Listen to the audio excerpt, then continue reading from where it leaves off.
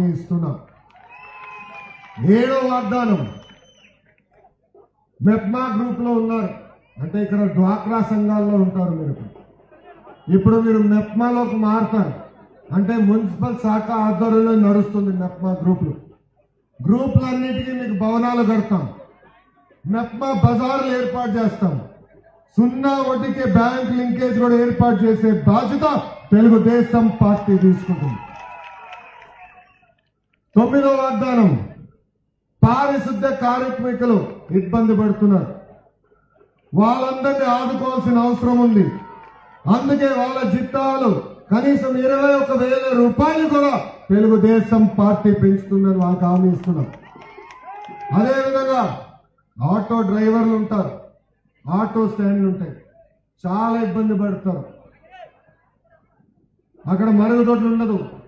తాగునీరు ఉండదు. అందుకే శాశ్వతమైన ఆటో స్టాండ్లు కట్టి మా ఆటో కార్మికులు కూడా మేము ఆదుకుంటామని వాళ్ళు కూడా నేను హామీ ఇస్తున్నా. చివరి హామీ పదో హామీ నీటి పన్ను. విపరీతంగా పెంచేశారు తల్లి. నీళ్ళు తాగాలనో భయం వేస్తుంది. కుళాయి తెరవాలనో భయం వేస్తుంది. అందుకే పేద ప్రజలకి నీటి పన్ను నూరుకి నూరు శాతం ఇస్తే బాధ్యత కూడా తెలుగుదేశం పార్టీ తీసుకుంటుందని మీకు హామీ ఒక మాటలో చెప్పాలంటే ఇది ఒక దున్నపోతు ప్రభుత్వం. అవునా కదా? దున్నపోతు కన్నాలంటే ఏం చేయాలా? ఏం చేయాలా? ముళ్ళ కర్ర గట్టి కొట్టాలి అవునా కాదా? అవునా కాదా? కట్టే కొట్టే బాధ్యత మేము తీసుకుంటాం తల్లి. కానీ తెలుగుదేశం పార్టీని గెలిపించే బాధ్యత మీరు తీసుకుంటారా? తీసుకుంటారా? మీ ఓటు ఏ గుర్తుకేస్తారు మీ ఓటు ఏ గుర్తుకేస్తారు సైకిల్ గుర్తుకి. ఈరోజు మూడో వార్డు అభ్యర్థిగా గంటా అప్పలకొండ గారు ఈరోజు నిలబడటం జరుగుతుంది. నూకరాజు గారు ఉత్సాహం చూస్తే ఎట్టి పరిస్థితి తల్లి భారీ మెజార్టీతో గెలుస్తుంది. అదేవిధంగా రెండో వార్డులో చిన్న కుమారి లక్ష్మి గారు కూడా నిలబడుతున్నారు. ఆమె భర్త అప్పలనాయుడు గారు కూడా ఇక్కడ ఉండటం జరిగింది. వీళ్ళిద్దరిని భారీ మెజార్టీతో గెలిపిస్తారా? భారీ మెజార్టీతో గెలిపిస్తారా? అలా ఒక్క ఛాన్స్ అని రాష్ట్రాన్ని నాశనం చేశాడు. దయచేసి రెండో ఛాన్స్ ఇచ్చి మన కుటుంబాన్ని మటుకు నాశనం చేయొద్దని మీ అందరు నేను కోరుకుంటూ వచ్చే ఎన్నికల్లో పదో తారీఖు నాడు పోలే సైకిల్ గుర్తుకే మీరు ఓటేసి అక్కని భారీ మెజార్టీ గెలిపిస్తారని ఆశిస్తూ నేను సెలవు తీసుకుంటున్నాను. జోహార్ అన్న ఎన్టీఆర్! జోహార్ అన్న ఎన్టీఆర్! చంద్రబాబు నాయుడు గారి నాయకత్వం చంద్రబాబు నాయుడు గారి నాయకత్వం జై హింద్ సార్ కొద్దిగా రండి కోతిరాజు గారు కుదరండి ముందు రండి ఆ? నేను అల్లిపిల్లి వినరా సార్ కొద్దిగా అల్లిపిల్లి విన సార్ సార్ సార్ కొద్దిగా పద సార్ అల్లిపిల్లి వినరా ఇక్కడ సార్ అల్లిపిల్లి వినం టీఎన్ఎస్ఎఫ్ అధ్యక్షులు కోతరాజు రండి యువరాజ్ గారు నెక్స్ట్ ప్రోగ్రామ్కి వెళ్ళాలి లేట్ అవుతున్నాం. ఎంతమందిని పిలవాలి చెప్పండి? నలుగురా? రండి నలుగురు వచ్చేసేయండి ఒకసారి వచ్చేయండి రండి.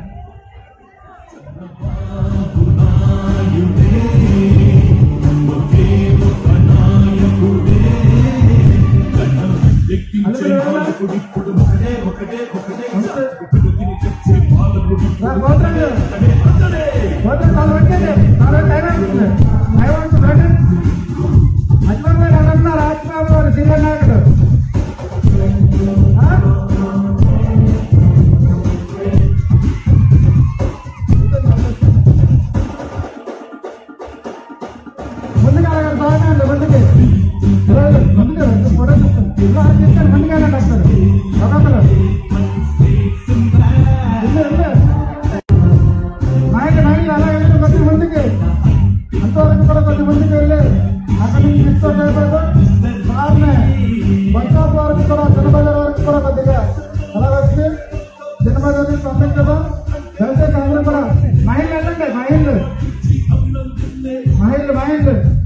అది మహిళలు వెళ్ళండి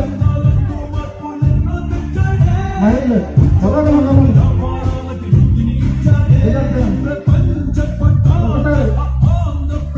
దయచేసి అందరూ కూడా చిన్న బజార్ చిన్న బజార్ దగ్గరికి అదే బజార్ వరకు అందరూ కూడా రావాల్సి వస్తున్నాం కార్యకర్తలు అందరూ కూడా చిన్న బజార్ వరకు రండి.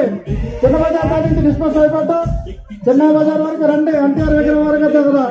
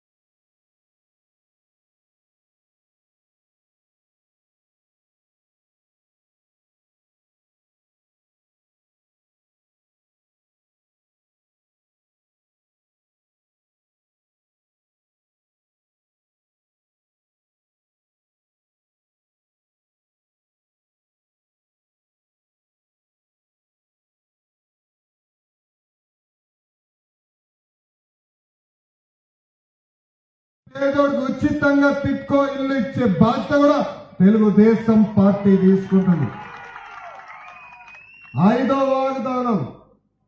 ఇక్కడ యువత యువకులున్నారు నిరుద్యోగ యువత యువకులున్నారు మీ అందరికీ జాబ్ మేళాలు పెట్టి ఉద్యోగాలు ఇప్పించే బాధ్యత కూడా తెలుగుదేశం పార్టీ తీసుకుంటుంది. ఆరో వాగ్దానం. మనం కొత్తగా మున్సిపాలిటీలో చేరాం. అంటే చాలా అభివృద్ధి కార్యక్రమాలు చేసుకోవాలా. మంచి రోడ్లు డ్రైన్లు వీధి దీపాలు పార్కులు ఇవన్నీ కూడా యుద్ధ ప్రాతిపదికంగా మా మెంబర్ గారు కడతారని కూడా నేను మీ అందరికీ హామీ ఇస్తున్నా. ఏడో వాగ్దానం. మెప్మా గ్రూప్లో ఉన్నారు. అంటే ఇక్కడ డ్వాక్రా సంఘాల్లో ఉంటారు మీరు. ఇప్పుడు మీరు మెప్మాలోకి మారుతారు. అంటే మున్సిపల్ శాఖ ఆధ్వర్యంలో నడుస్తుంది మెప్మా గ్రూపులు. గ్రూపులన్నిటికీ మీకు భవనాలు కడతాం.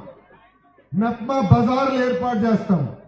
సున్నా వడ్డీకి బ్యాంక్ లింకేజ్ కూడా ఏర్పాటు చేసే బాధ్యత తెలుగుదేశం పార్టీ తీసుకుంటుంది. తొమ్మిదో వాగ్దానం పారిశుద్ధ్య కార్మికులు ఇబ్బంది పడుతున్నారు. వాళ్ళందరినీ ఆదుకోవాల్సిన అవసరం ఉంది. అందుకే వాళ్ళ జీతాలు కనీసం ఇరవై ఒక వేల రూపాయలు కూడా తెలుగుదేశం పార్టీ పెంచుతుందని వాళ్ళకి హామీ ఇస్తున్నాం. అదేవిధంగా ఆటో డ్రైవర్లు ఉంటారు ఆటో స్టాండ్లు ఉంటాయి చాలా ఇబ్బంది పడతారు. అక్కడ మరుగుదొడ్లు ఉండదు తాగునీరు ఉండదు. అందుకే శాశ్వతమైన ఆటో స్టాండ్లు కట్టి మా ఆటో కార్మికులు కూడా మేము ఆదుకుంటామని వాళ్ళు కూడా నేను హామీ ఇస్తున్నాను చివరి హామీ పదో హామీ. నీటి పన్ను. విపరీతంగా పెంచేశారు తల్లి. నీళ్ళు తాగాలన్నా భయం వేస్తుంది. కుళాయి తెరవాలన్నా భయం వేస్తుంది. అందుకే పేద ప్రజలకి నీటి పన్ను నూరుకి నూరు శాతం ఇస్తే బాధ్యత కూడా తెలుగుదేశం పార్టీ తీసుకుంటుందని మీకు హామీ ఒక మాటలో చెప్పాలంటే ఇది ఒక దున్నపోతు ప్రభుత్వం. అవునా కాదా? దున్నపోత కదలాలంటే ఏం చేయాలా? ఏం చేయాలా? ముళ్ళ కర్ర తీసుకుని గట్టి కొట్టాలి అవునా కాదా? అవునా కాదా? కట్టే కొట్టే బాధ్యత మేము తీసుకుంటాం తల్లి. కానీ తెలుగుదేశం పార్టీని గెలిపించే బాధ్యత మీరు తీసుకుంటారా? తీసుకుంటారా? మీ ఓటు ఏ గుర్తుకు వేస్తారు? మీ ఓటు ఏ గుర్తుకు వేస్తారు? మైకిల్ గుర్తుకి. ఈరోజు మూడో వార్డు అభ్యర్థిగా గంటా అప్పలకొండ గారు ఈరోజు నిలబడటం జరుగుతుంది. నూకరాజు గారు ఉత్సాహం చూస్తే ఎట్టి పరిస్థితి తల్లి భారీ మెజార్టీతో గెలుస్తుంది. అదేవిధంగా రెండో వార్డులో చిన్న కుమారి లక్ష్మి గారు కూడా నిలబడుతున్నారు? ఆమె భర్త అప్పలనాయుడు గారు కూడా ఇక్కడ ఉండటం జరిగింది. వీళ్ళిద్దరిని భారీ మెజార్టీతో గెలిపిస్తారా? భారీ మెజార్టీతో గెలిపిస్తారా? అలా ఒక్క ఛాన్స్ అని రాష్ట్రాన్ని నాశనం చేశాడు. దయచేసి రెండో ఛాన్స్ ఇచ్చి మన కుటుంబాన్ని పట్టుకుని నాశనం చేయొద్దని మీ అందరు నేను కోరుకుంటూ వచ్చే ఎన్నికల్లో పదో తారీఖు నాడు పోలే. సైకిల్ గుర్తుకే మీరు ఓటేసి అక్కని భారీ మెజార్టీ గెలిపిస్తారని ఆశిస్తూ నేను సెలవు తీసుకున్నాను జోహార్ అన్న ఎన్టీఆర్! జోహార్ అన్న ఎన్టీఆర్! చంద్రబాబు నాయుడు గారి నాయకత్వం!